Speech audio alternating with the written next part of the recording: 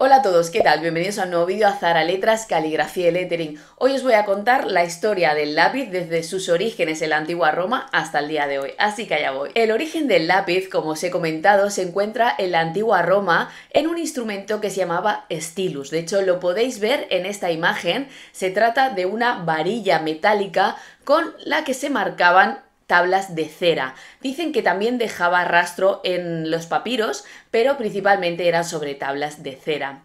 Aquí podéis ver otra imagen de una especie de souvenir bastante curioso. Fijaos que las inscripciones dicen lo siguiente. He venido de la ciudad, se supone que la ciudad es Roma, te traigo un regalo de bienvenida con una punta afilada para que me recuerdes. Es decir, es una especie de, de souvenir que, se, que trajo de la ciudad de Roma a Londres, que es donde fue encontrado, pues con una especie de broma, ¿no? Como estuve en Matalascañas y me acordé de ti, una camiseta, ¿no? A mí la verdad es que me gusta comprar lápices de recuerdo cuando voy a los sitios, por lo tanto, bueno, ahí tenemos un, un, un origen, ¿no? Un stylus que era un souvenir en aquella época. Damos un salto en el tiempo, 500 años más tarde, y nos encontramos ya el grafito, que es el material con el que se fabrican hoy en día los lápices. Y es que en 1564 se descubrió una mina de grafito en Borrowdale, Cumbria, Inglaterra. Entonces se dieron cuenta de que el grafito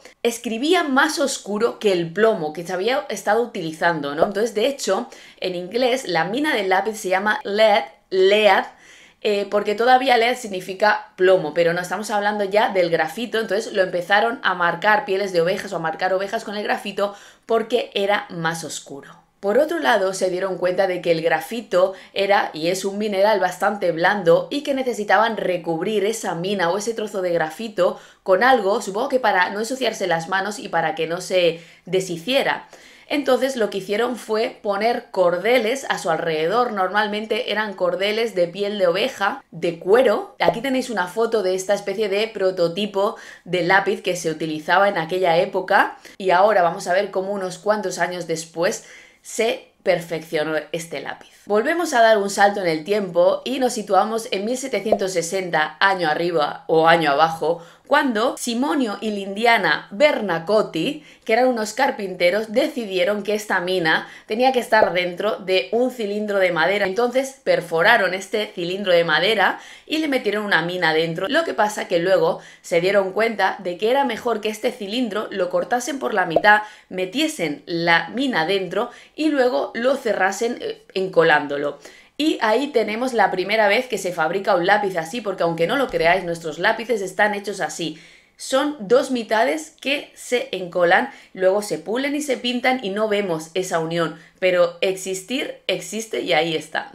Seguimos un poquito adelante en el tiempo y en 1795 nos encontramos con un general de Napoleón que se llamaba Nicolas Jacques Comté, que se unió con un arquitecto austriaco llamado Joseph Harthmore, que dieron un poco con la clave del éxito, porque se dieron cuenta que mezclando el grafito con la arcilla y pasándolo por un proceso de cocción iban a endurecer la mina e iba a ser más fácil pues ponerle una carcasa de madera, que es lo que hicieron. Y también se dieron cuenta de que cambiando la proporción de la mezcla, es decir, la cantidad de arcilla que había o de grafito, pues daban minas más duras o más blandas. Y ahí tenemos ya lo que empezó a ser esta nomenclatura HB, H de hard y B de black.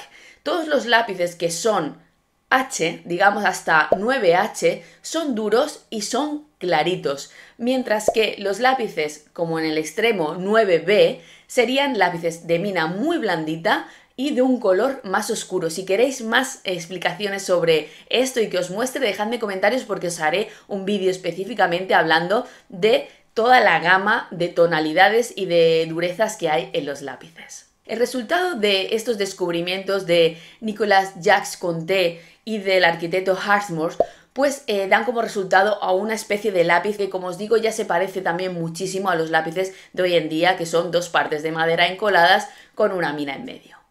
Poco después ya en Alemania empezó a crecer muchísimo la manufactura de lápices y ya encontramos marcas como Faber-Castell, que se podía ver al principio como AW Faber, y también otras marcas como Staedtler o Lira, que hoy en día todavía siguen siendo grandes fabricantes y productores de lápices y los utilizamos aún en nuestro día a día. Cambiamos un poco el escenario y nos vamos a Estados Unidos, donde hasta ese momento pues estaban importando lápices de Europa. Lo que pasa que con la guerra de independencia cortaron el flujo, entonces se vieron obligados a fabricar sus propios lápices. Entonces tenemos en 1812 referencias a William Monroe, que era un ebanista e hizo los primeros lápices de madera en Estados Unidos. Cerca de donde vivía Monroe, pues tenemos Concord, USA, que fue como un enclave en donde se empezaron a fabricar muchísimos lápices, porque de hecho Monroe no eh, hizo patente, entonces se empezaron a aprovechar un poco y otros empresarios como Ebenezer Wood automatizaron el proceso con sierras circulares e hicieron pues cubiertas distintas.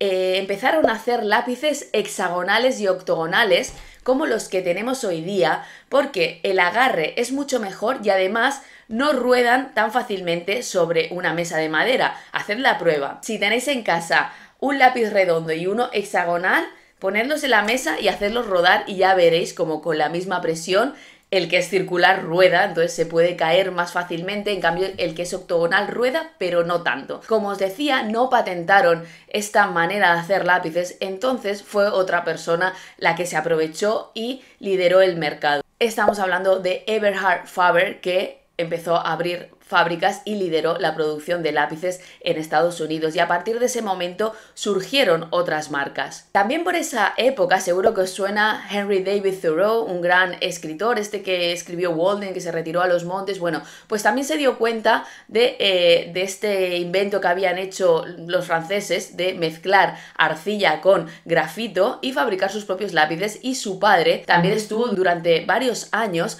fabricando lápices y podemos ver por ejemplo en esta imagen cómo el apellido Thoreau está en, esos, en esas cajas y bueno, pues como os digo, fue un negocio lucrativo durante unos cuantos años, pero como proliferaron tanto las marcas, y no estaba la patente en uso, pues la competencia era muy grande y cambió su negocio a otro sector. Por esas fechas también apareció la marca Joseph Dixon Crucible Company, que pasó a llamarse Dixon Ticonderoga y aquí ya empezamos a ver un montón de fábricas de publicidad. A mí me encanta la publicidad antigua, así que os dejo algunas imágenes de anuncios de lápices de esa marca porque realmente me fascina ver cómo anunciaban sus productos. También tenían fábricas alemanas en Estados Unidos, sobre todo en Nueva York y Nueva Jersey, como la de Faber-Castell y también otras como Eagle Pencil Company o General Pencil Company. Voy a hablar ahora sobre dos curiosidades sobre los lápices. En un principio los lápices no tenían color porque se dejaba ver la calidad de la madera.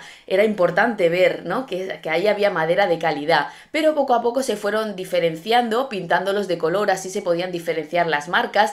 Hay algunos que dicen en Estados Unidos son amarillos, que es porque las herramientas son de ese color, se encuentran más fácilmente. Otros dicen que es porque era un color muy valorado en China, que es de donde venían. Bueno, sea como sea, hoy en día en Europa tenemos dos que son muy claros, que son los de Staedtler, que son amarillos y negros, de hecho por eso me he vestido hoy así, y los de Faber-Castell, que normalmente son verdes y ya lo eran en su época, es su color distintivo. Otra curiosidad es la goma o el borrador que tienen algunos lápices. Y fue en 1850 cuando Hemen Limpan pues hizo la patente, de hecho os dejo por aquí la foto para que veáis la patente de cómo colocar este borrador en esta parte del lápiz. Como os decía, hoy en día el proceso de fabricación de un lápiz es muy similar a cómo se hacía en el siglo XIX, solo que pues con maquinaria más sofisticada. No tengo los derechos, así que no os lo puedo poner, pero en la caja de descripción del vídeo os dejo un vídeo de cómo se fabrica hoy en día en una fábrica de Faber-Castell un lápiz y vais a ver eso, cómo se hace la mina de grafito, cómo se hacen las dos partes, se pone la mina en medio, se encolan, luego pues se pintan y algunos se afilan y otros no se afilan, depende del fabricante. Y nada más, creo que este vídeo ya ha resultado bastante completo. Si os ha gustado, como siempre, thumbs up, pulgares arriba y os suscribís a mi canal. Aquí aparece mi foto, le dais a suscribirse y a la campanita. Por aquí aparece una lista de reproducción con caligrafía con lápiz que podéis hacer todos y por aquí va pasando una lista de personas que ya forman parte de mi comunidad. Muchísimas gracias a todos por apoyarme. Si vosotros también queréis apoyarme, le dais al botón únete ahora y veis las ventajas. Muchas gracias por ver este vídeo y a practicar.